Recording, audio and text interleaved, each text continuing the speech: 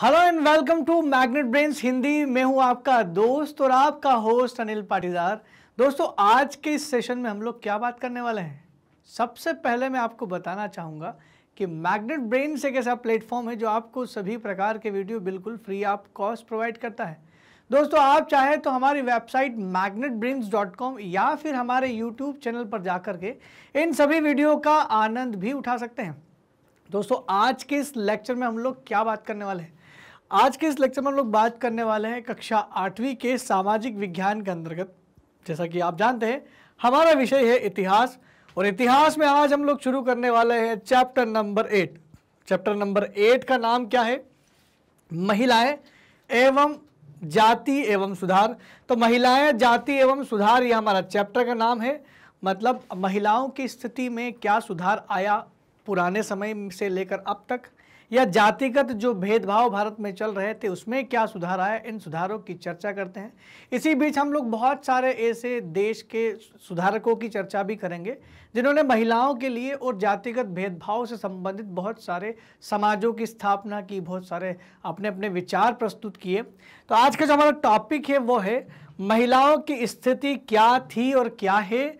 और साथ ही साथ जातीय भेदभाव का प्रचलन क्या है? इसके बारे में आज हम लोग बात करने वाले हैं। चलिए आगे बढ़ते, समझते हैं चैप्टर को कि ये चैप्टर हमसे क्या कहना चाहता है। सबसे पहले बात करते हैं महिलाओं की स्थिति की। महिलाओं की स्थिति की बात करें तो क्या आपने कभी सोचा है, एक क्वेश्चन दिमाग में उठता है कि क्या आपने कभी सोचा है कि 200 साल पहले, आज से 200 साल पहले बच्चों की ज़िंदगी कैसी रही होगी? हम बात महिलाओं की कर रहे हैं, लेकिन बच्चों से शुरुआत कर लेते हैं। आज से 200 साल पहले बच्चों की ज़िंदगी कैसी रही होगी? आजकल लड़कियाँ स्कूल जाती हैं, लड़कों के साथ पढ़ती हैं, नौकरियाँ करती हैं तो 200 साल पहले क्या स्थिति रही होगी? बच्चों में लड़के लड़कियाँ दोनों आते हैं तो स्थिति उस समय क्या रही होगी? इसके बारे में हमने पिछले चैप्टर में पढ़ा था कि कैसे पुरानी शिक्षा दी जाती थी। अब क्या है कि आजकल तो लड़कियाँ स्कूल जाती है, लड़कों के साथ पढ़ती हैं, नौकरियाँ करती हैं। वे किसी भी जाति समुदाय के व्यक्ति से शादी तक कर सकती है। यहाँ तक भी प्रतिबंध हटा दिए गए हैं। विधवाएँ दोबार, दोबारा शादी भी कर सकती हैं। विधवा विवाह भी आजकल पॉसिबल है। नॉर्मली सब जगह हो जाता है। महिलाएँ वोट भी डाल सकती है, चुनाव भी लड़ सकती है। यहाँ तक कि देश के प्रधानमंत्री, राष्ट्रपति भी बन सकती हैं। तो दोस्तों, ये सब बदलाव जो है वो अब देखने को मिल रहे लेकिन फ़र्ज़ करो 200 साल पहले क्या होगा? ये सोचने वाली बात है। 200 साल पहले हालात बहुत भिन्न थे। जो आज के हालात है, महिलाएँ पढ़ रही हैं, लड़की आजकल हर फ़ील्ड में पुरुषों के साथ बराबरी कर रहे हैं। समानता का अधिकार का पूरा पूरा जो है वो आनंद उठा रही हैं। मतलब ये कि जो अधिकार दिया गया उसका पूरा पूरा लाभ ले रही हैं। तो ऐसा कह सकते हैं कि आज की तारीख में वो समस्या नहीं रही जो पहले थी। 200 साल पहले की बात करें तो बिल्कुल हालात भिन्न थे। बच्चों की जो शादी होती थी, वो बहुत कम उम्र में कर दी जाती थी। आजकल तो बच्चों की शादी जो है, वो पहली बात तो बच्चों की शादी होती ही नहीं है आज की बात, आज की तारीख में। आज तो केवल वयस्क लोगों की शादी होती है। शादी की उम्र भी तय कर दी गई है।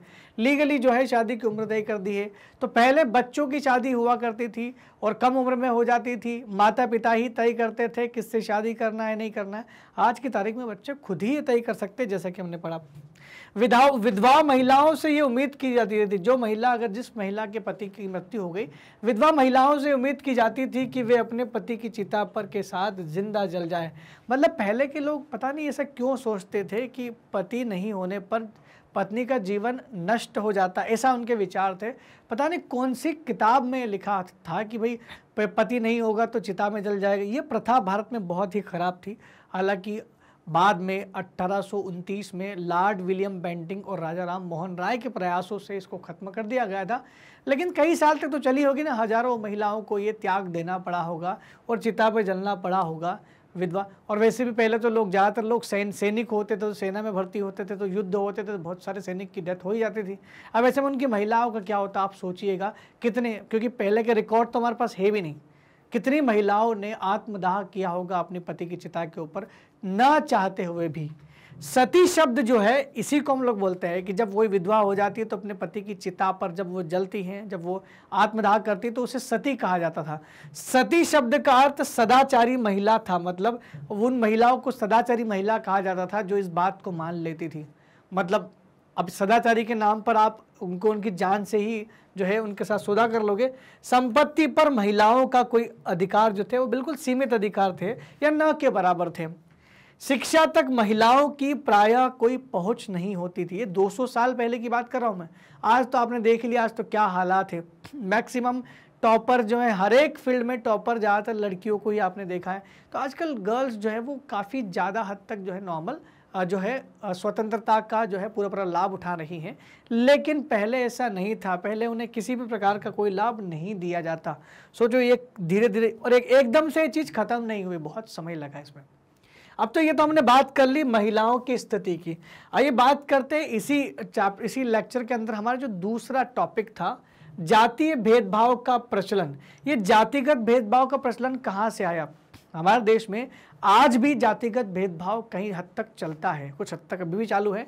पुराने समय में तो बहुत पीक पर था, पुराने समय में शायद इस जातिवाद को लोग अपने, इतना ज़्यादा सीरियस थे कि हम सारे के सारे लोग इसको फॉलो भी करते थे।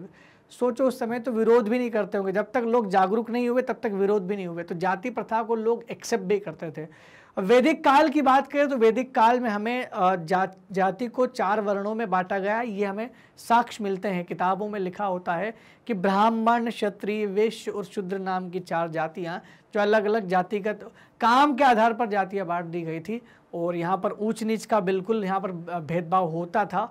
तो यहाँ पर जो बात करते हैं, ब्राह्मण और क्षत्रिय जो होते थे, वो ऊँची जात, जातियों में कहे जाते थे। सबसे ऊँची जातियाँ जो होती थी, ब्राह्मण और क्षत्रिय को ऊँची जातियाँ माना जाता था। इसके बाद, ब्राह्मण के बाद, क्षत्रिय और क्षत्रिय के बाद आता था वैश्य का नंबर, जिसमें व्यापारी और महाजन वाले लोग आते थे, जिन्हें प्राय वैश्य कहा जाता था।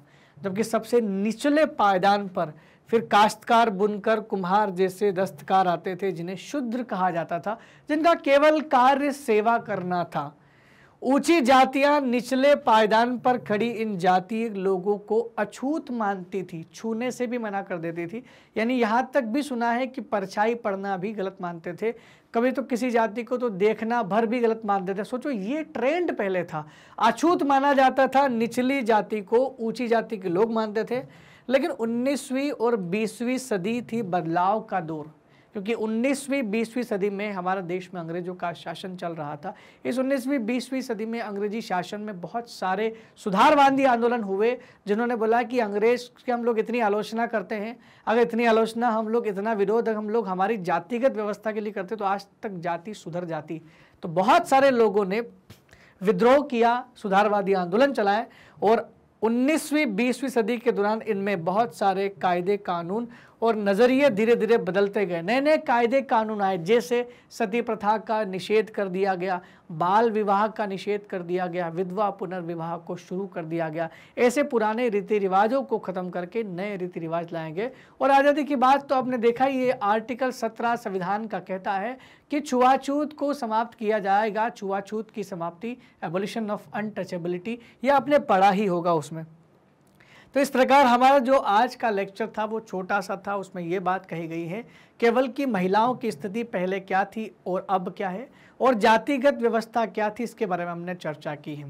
दोस्तों, अगर आपको हमारे वीडियो सीक्वेंस में नहीं मिल रहे तो घबराने की ज़रूरत नहीं है, क्योंकि मैग्नेट ब्रेन्स आप लोगों के लिए लेकर के आया है एक दूसरा विकल्प, जो उसका नाम है मैग्नेट आप चाहे तो हमारी वेबसाइट मैग्नेट पर जा सकते हैं, जहाँ आपको मिलेगा India number one hundred percent free online educational platform दोस्तों, ये ऑनलाइन एजुकेशनल प्लेटफॉर्म आपको क्या प्रोवाइड करता है? ये आपको प्रोवाइड करता है तो अपने टॉप कोर्सेज को एक्सप्लोर करने का मौका आप यहाँ आकर के अपने क्लास सेवन से class twelve CBSE Hindi medium को एक्सप्लोर कर सकते हैं। जैसे आप इस पर क्लिक करेंगे, आप पहुँच जाएँगे अपनी क्लास एट पर। अब आपको क्लास एट सिलेक्ट करना आपके सामने क्लासेस के ऑप्शन है। जैसे ही आपने अपने क्लास एट को सिलेक्ट किया गया, किया, आपके सामने आ जाएँगे आपके सारे चहेते टीचर जो आपको कक्षा आठवीं पढ़ाने वाले हैं। अब आपको तय करना है कि कौन सा सब्जेक्ट आपको पढ़ना है, जो भी सब्जेक्ट आपको पढ़ना है।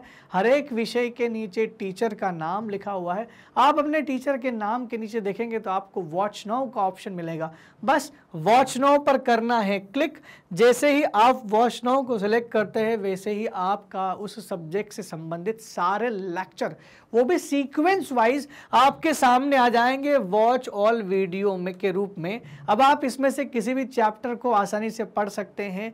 जिस भी चैप्टर को या जिस भी लेक्चर को पढ़ना है उस पर बस करिए, क्लिक और आपका वीडियो हो जाएगा शुरू। इस प्रकार आप अपने वीडियो देख सकते हैं।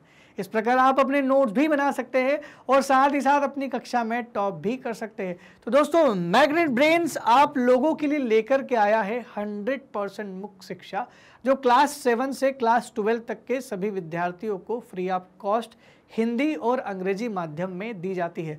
दोस्तों, अगर आपको हमारे वीडियो लग रहे हैं, बहुत अच्छे तो प्लीज़ कमेंट सेक्शन में लिख करके ज़रूर बताएँ और साथ ही साथ हमारे चैनल को लाइक शेयर और सब्सक्राइब करना बिल्कुल भी ना भूलें। तब तक के लिए दोस्तों, धन्यवाद। Thank you very much